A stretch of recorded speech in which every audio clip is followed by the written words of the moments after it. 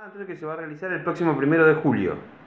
Exactamente, el próximo primero de julio el Colegio de Abogados de Cutralcó, junto con el Consejo de la Magistratura de la provincia de Neuquén y con el patrocinio del municipio de la ciudad de Cutralcó y el Colegio de Abogados de Neuquén, vamos a organizar eh, el segundo ciclo de conferencias de Derecho Administrativo.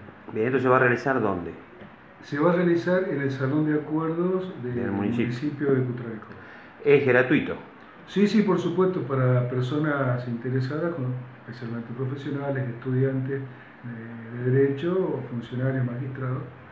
Esto es a raíz de la implementación eh, de el, Los el fuero contencioso administrativo. Exactamente, fuero contencioso administrativo que va a funcionar un juzgado en Zapala y otro juzgado en Neuquén.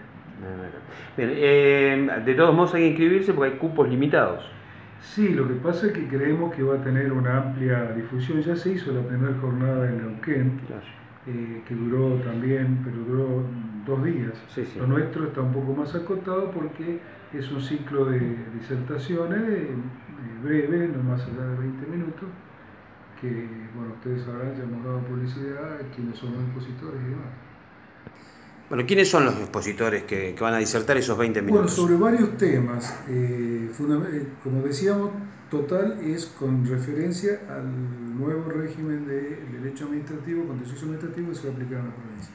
Por ejemplo, tenemos al doctor Rambón, que es el presidente del Colegio de Abogados de, de la ciudad de Neuquén, eh, el doctor Gutiérrez Calantono, que es el director de posgrado, especialista en Derecho Administrativo, eh, la doctora Daniela Carrera, que es eh, abogada relatora de la Secretaría de Demandas este, Originarias del Tribunal Superior, eh, el doctor Egea, que es un colega de la ciudad de Neuquén, y la doctora Mattioni, que es, eh, eh, va a hablar con referencia al impacto del nuevo procedimiento en la comunidad de Neuquén. ¿no?